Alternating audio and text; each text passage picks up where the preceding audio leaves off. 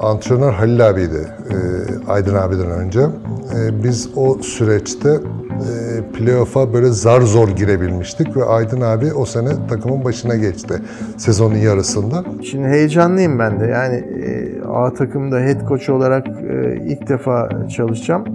Gerçi oyuncuların hepsi tanıyorum yani çoğu da benim altyapıdan oyuncum ama ne olursa olsun.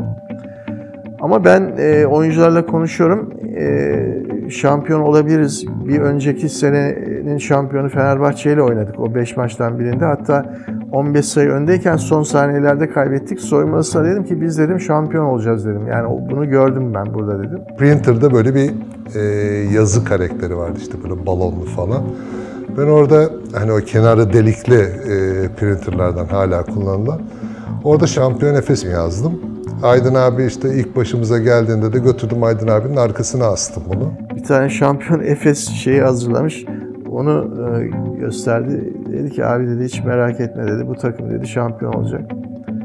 Valla ben e, oyuncuların en tecrübelisinin bu şekilde konuşması beni çok rahatlattı. Yani şimdi çünkü oyunculardaki o özgüveni gördüğünüz zaman rahatlıyorsunuz. Siz de biraz sakinleşiyorsunuz. Yani o heyecanı bastırıyor. Aydın abi sordu bana dedi ki yani buna inanıyor musun peki dedi. Abi dedim inanmasam bunu yazar mıyım diye söyledim.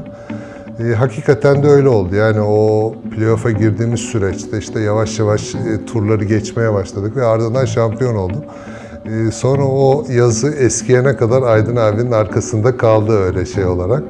E, o tabii ki çok önemli bir şeydir. Yani o playoff'a zor girmiş bir takımın oyuncularının tekrardan bir enerjiyle e, bir araya gelmesi, o inancı e, tekrardan yeşertmesi önemli bir şeydi. Hakikaten de o yazı Aydın abiyle aramızda bir şey oldu. E, bir espri konusu da oldu daha sonra.